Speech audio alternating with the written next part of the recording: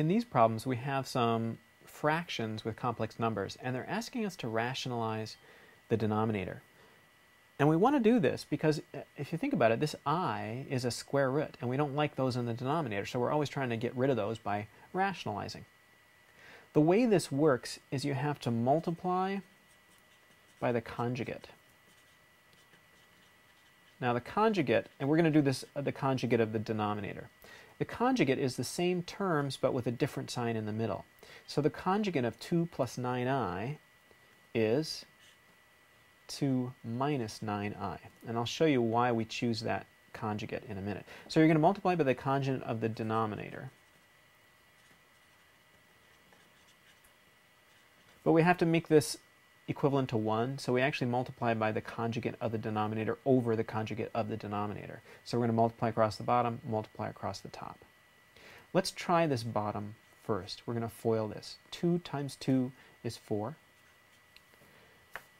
9i times 2 is positive 18i, and 2 times a negative 9i is minus 18i.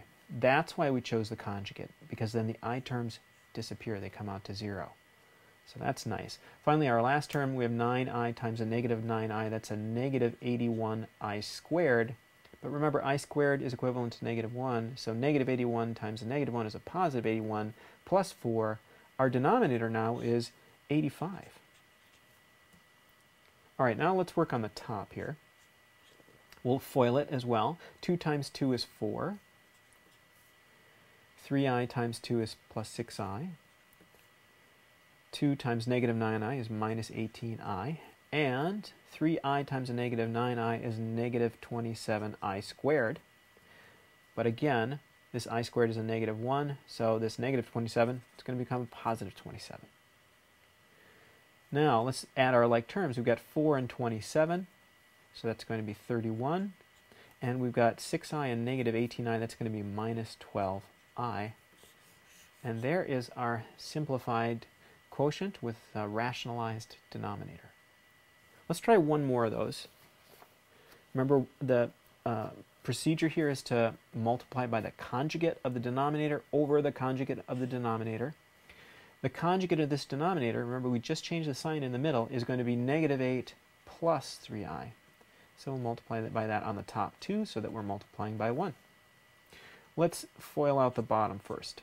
Negative 8 times negative 8 is 64. Negative 3i times negative 8 is plus 24i. Negative 8 times uh, 3i is minus 24i. And as you get used to these, you can probably just skip that step because you know the i terms are going to disappear if you're um, multiplying by the conjugate. The other way to think about this is a difference of squares. Um, what we'll really get is this term squared uh, minus this term squared. But let's go ahead and finish our, our multiplication here. We got negative 3i times 3i, so that's going to be negative 3i squared. Sorry, negative 9i squared. And remember, this i squared is a, a negative 1, so this is actually a positive 9. Those i terms disappear. We got 64 plus 9, so that equals 73. That's our denominator. Now let's FOIL out the top. 1 times negative 8 is negative 8.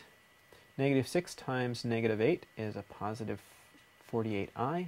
Sorry, negative 6i times negative 8. And um, 1 times 3i is a positive 3i.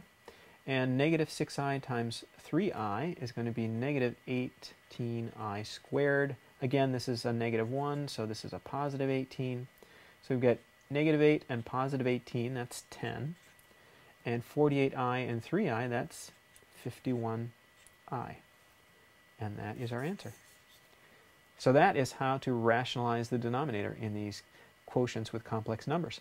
My name is Larry. I'm a teacher at EdVisions off campus. It's an online project-based school in Minnesota. If you're interested, you can check us out on the web at lovethischool.org. Thanks.